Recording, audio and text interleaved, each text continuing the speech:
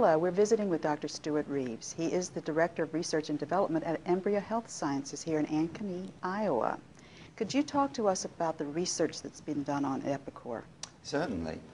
First of all, we did a lot of laboratory research, which, although not as exciting as human clinical mm -hmm. trials, is really necessary to prove that a product will directly interact with the immune system. But it basically established that the product did have effects in the laboratory.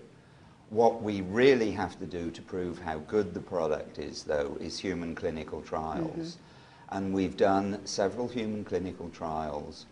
And the two I want to mention were carried out last year.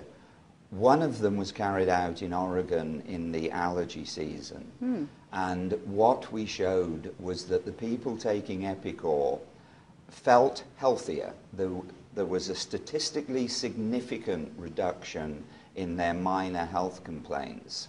And they believe this was due to the fact that they appeared to have um, less allergic reactions in the allergy season.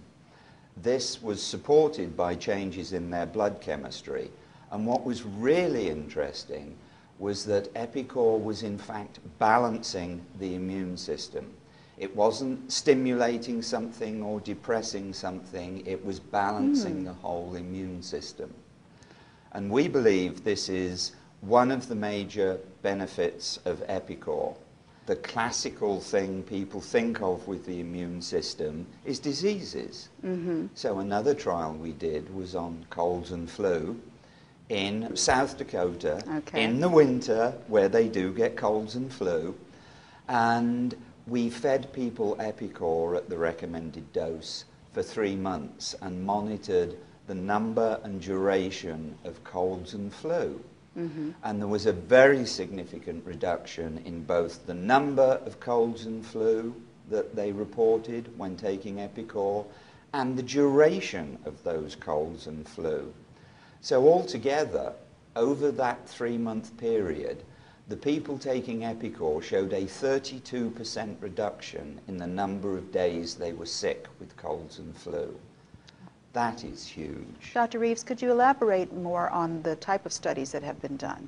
Well, the two that I've mentioned were double-blind, placebo-controlled studies. This is, in effect, the gold standard of human mm. clinical mm -hmm. trials because neither the patients nor the people running the study know which group is taking Epicor and which group is taking the placebo. Right. So this removes bias from the trial as much as humanly possible.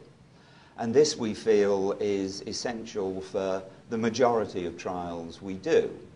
We have done what are called open label studies in-house, which show some beneficial effects, and these are valid there is no doubt there was statistically significant benefits. Mm-hmm. But the double blind, placebo controlled is always the gold standard, the Rolls Royce of trials. What about the long term dosage? It's a natural product. Mm-hmm. We all consume yeast, um, whether we like it or not. It's in bread, it's in fermented products, it's safe for long term use. Mm-hmm. Obviously, it's a new product. Very few people have been taking it more than three years because it didn't exist three years ago. But those who have been taking it have shown no ill effects, and these include all our executive officers, and they're very careful about their health. Okay. All right. Well, thank you, Dr. Reeves. We'll visit again. My pleasure.